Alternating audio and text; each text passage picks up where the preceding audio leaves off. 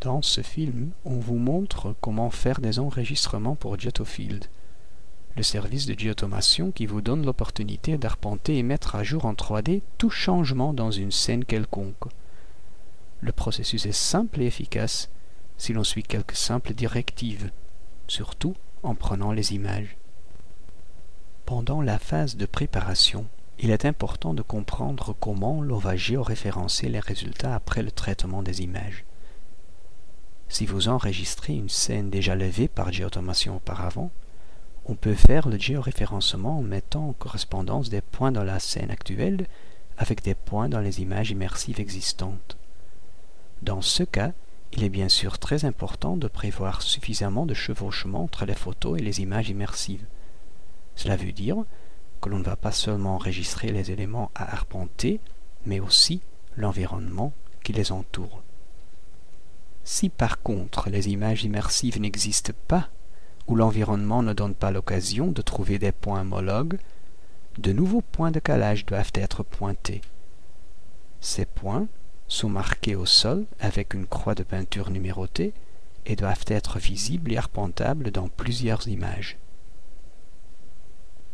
Alors, comment faire l'enregistrement? Utilisez l'appareil photo avec zoom fixe. Ne modifiez pas le zoom tout au long de la prise des photos. Il est préférable d'effectuer un zoom arrière complètement afin que la photo montre la plus grande partie de la scène. On commence d'une côté de la scène. Avant chaque prise de photo, assurez-vous que vous vous y en concentrez correctement. Prenez votre temps pour ça, car cela permettra d'éliminer les photos floues. Vous pouvez mettre l'appareil à l'horizontale ou verticalement, mais s'il vous plaît ne changez pas cette orientation pendant la prise photo de la même séquence. Regardez la scène que vous avez besoin de mesurer. Assurez-vous que soit visible sur les photos, y inclut le chevauchement avec l'environnement ou les croix de peinture, et prenez une image.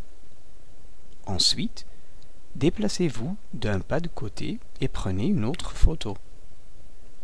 Afin d'avoir suffisamment de chevauchement entre les images, chaque pas devait être d'environ 60 à 80 cm. Recommencez ce processus jusqu'à la fin de la scène c'est toujours mieux de tourner autour de la scène pour parcourir une trajectoire de 180 degrés.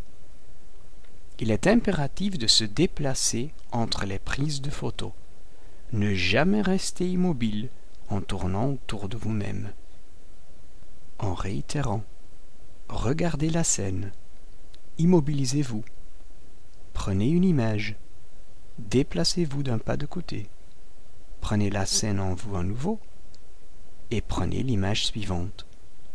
De cette façon, il y aura toujours suffisamment de chevauchement entre des images consécutives, ce qui permettra de traiter les images automatiquement et d'arpenter des points en 3D.